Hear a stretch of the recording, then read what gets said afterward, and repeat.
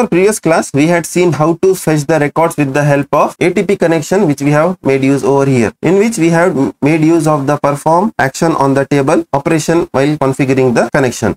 Now what if we want to use the SQL query and not use the wizard for this purpose? If you get such question then we will show you how to do that. First of all we have to go to this edit and in the operation we have to select this run an SQL statement. So you can run any kind of SQL statement provided your schema and the username what you are using should have the access to perform that function. I will tell select star from. So we can give select star from as well. But it's always a good practice to explicitly mention the column names. I'm writing employee ID. I'm giving the name and the salary over here in the query. Once done, click on this validate SQL query. So Oracle integration will validate the syntax.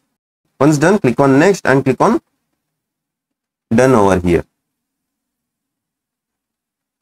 Click on update the configuration.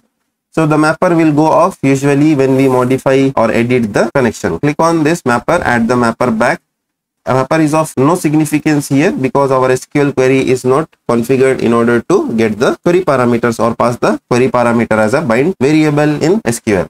So we are not seeing any variables over here. We don't have any bind parameters for our SQL query. So in the mapper, let's see what has changed over here.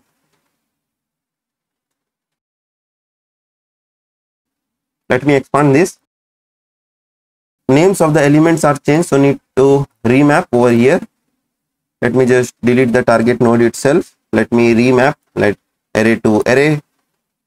Employee id to employee id or the number. Name to name.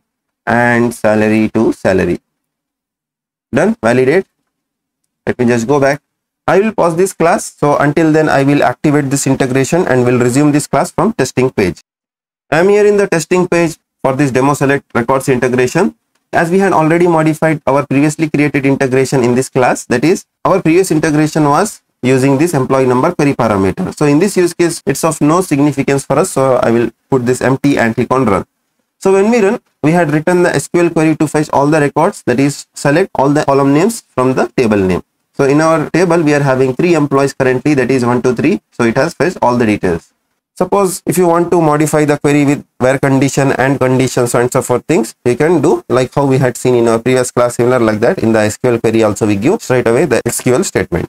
Just make sure when we write the bind parameters, we have to mention hash instead of colon. So in SQL developer, it's colon in integration, we have to use hash else your integration will fail.